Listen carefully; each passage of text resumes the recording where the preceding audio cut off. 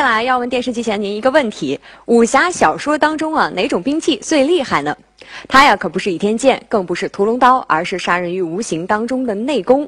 那如今美国研制出来了一项秘密武器，这种武器的威力啊，堪比武林内功高手。看不到、听不到、还闻不到，但是你不得不快跑。这是什么暗器？告诉你吧，它就是美国军方近期公开的一种新式武器。它可以发射强烈的电磁波，让对方突然有难以忍受的热感，主动躲开。它的名字就叫做主动拒绝系统。实验者说，被它射中，仿佛置身烤箱，拿木板挡完全没用，拿床垫遮挡一样无济于事。它的射程可以达到一千米，如果用在战场上，敌人应该还没有见其踪影，就得当逃兵了。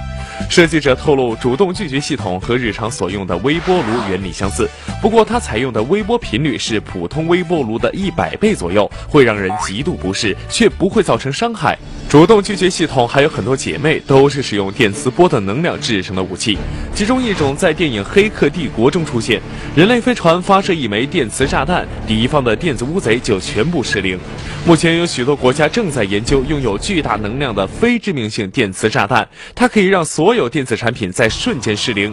近年来，非致命性武器激增，从最开始的辣椒喷雾器、催泪炸弹等警用非致命性武器，到现在战场上也频频出现新式的非致命性武器。闪耀的致盲枪被击中后会暂时性失明，但不会对身体造成永久性损伤。激光感应等离子屏障同样看不见摸不着，却是一道空气墙，强行穿越的人会不明不白地体验一次过电的感觉。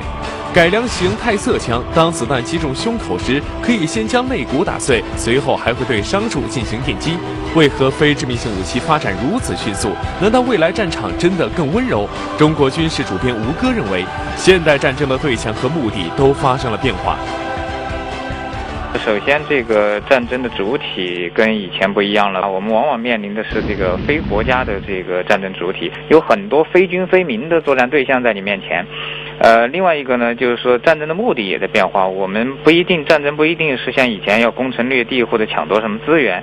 我们现在发现，最近这些年的战争，就像美国，它要维护它的这个国际秩序。另外一个还就是说，战争的成本观念也在变化。这主要是从美国这个角度来说的。一方面就是说，它自身这个人员伤亡不起；还有一个更重要的成本呢，就是战争的道德成本。